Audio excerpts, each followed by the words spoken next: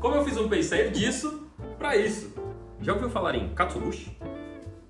Ele é normalmente utilizado para caldos e até para finalização de alguns pratos, como takoyaki e okonomiyaki. Encontrei esse cara no YouTube fazendo um caseiro e resolvi testar, mas foi bem trabalhoso. Foram seis dias defumando para chegar nesse resultado.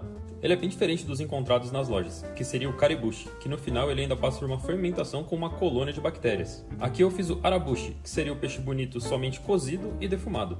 E para ralar precisamos dessa ferramenta específica com uma lâmina bem baixinha. E é só começar a ralação.